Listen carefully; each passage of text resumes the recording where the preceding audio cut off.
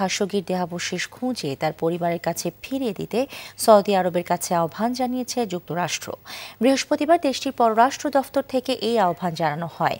পররাষ্ট্র দফতরের মুখপাত্র রবার্ট পালাদিনো বলেন, যারা হত্যাকাণ্ড সংঘটিত করেছে শুধু তাদেরই নয়, যারা এর পেছনে ছিল ও নির্দেশ দিয়েছে তাদেরকেও আইনের আওতায় আনতে হবে। যুক্তরাষ্ট্রে স্বেচ্ছা নির্বাসিত জামাল খাশোগি সৌদি সরকারের কঠোর সমালোচক ছিলেন। বিশেষ করে সৌদি যুবরাজ মোহাম্মদ বিন সালমানের সংস্কার পরিকল্পনার বিরোধী ছিলেন তিনি। এদিকে খাশোগিকে ভয়ঙ্কর ইসলামপন্থী বলে মন্তব্য করেছেন সৌদি যুবরাজ।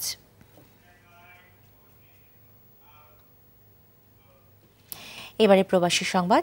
মালয়েশিয়া সংযুক্ত আরব আমিরাত ও কাতার প্রতিনিধির পাঠানো তথ্য ছবিতে প্রবাসী সংবাদ জানাচ্ছেন মুজাহিদ হাসান। দুবাই ও উত্তর আমিরাত প্রবাসী বাংলাদেশিদের উদ্যোগে বনভোজন, মিলন মেলা ও আলোচনা সভা সারজাস্ত একটি পার্কে অনুষ্ঠিত হয়েছে। কাজী মোহাম্মদ আলীর সভাপতিত্বে ও আনসারুল হক আনসারের পরিচালনায় এ সময় প্রধান অতিথির বক্তব্য রাখেন শারজা বাংলাদেশ সমিতির সভাপতি এম এ বাসার। প্রধান বক্তা ছিলেন জাহাঙ্গীর আলম তুলতুল। বিশেষ অতিথির বক্তব্য রাখেন লায়ন নজরুল ইসলাম তালুকদার মোহাম্মদ আজম খান, শামস আহমেদ সহ আরও অনেকে। প্রবাসীদের কল্যাণে কাজ করার অঙ্গীকার নিয়ে মালয়েশিয়ায় পথ চলা শুরু হয়েছে জয়যাত্রা ফাউন্ডেশনের। এই উপলক্ষে কুয়ালালামপুরের একটি রেস্টুরেন্টে আলোচনা সভা অনুষ্ঠিত হয়েছে। তারেকুজ্জামান মিতুলের সঞ্চালনায় এতে সংগঠনের বিভিন্ন দিক ও পরিকল্পনা সম্পর্কে জানান জয়যাত্রা ফাউন্ডেশনের চেয়ারপারসন হেলেনা জাহাঙ্গীর। পরে মোহাম্মদ মনির দেওয়ানকে সভাপতি ও তারেকুজ্জামানকে সাধারণ সম্পাদক করে মালয়েশিয়ায় জয়যাত্রা ফাউন্ডেশনের আন্তর্জাতিক কমিটির একশো এক সদস্যের নাম ঘোষণা করেন উপদেষ্টা এস এম রহমান পারভেজ।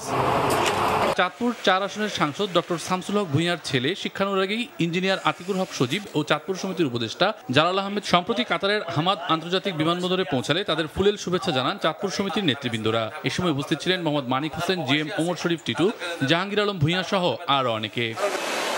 মিলিপুল কাতার দু হাজার এর এক্সিবিশন উদ্বোধন অনুষ্ঠিত হয়েছে। বারোতম সংস্করণের উদ্বোধন করেন কাতারের আমির Sheikh Tamim bin Hamad Al Thani ও স্বরাষ্ট্রমন্ত্রী Sheikh Abdullah bin Nasser bin Khalifa Al Thani. দোহার প্রদর্শনী ও কনভেনশন সেন্টারে তিন দিনব্যাপী চলবে এই প্রদর্শনী। উদ্বোধনী অনুষ্ঠানে উপস্থিত ছিলেন মন্ত্রী ও উচ্চপদস্থ কর্মকর্তারা। কাতার প্রবাসী সাংবাদিক সমিতির সভাপতি ই এম আকাশ অনুষ্ঠানে অংশ নেন।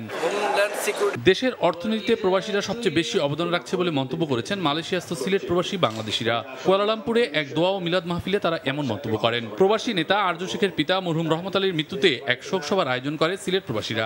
এবাদুর রহমান চৌধুরীর সঞ্চালনায় ফয়জুদ্দিনের সভাপতিত্বে এতে প্রধান অতিথি ছিলেন নূর মিয়া।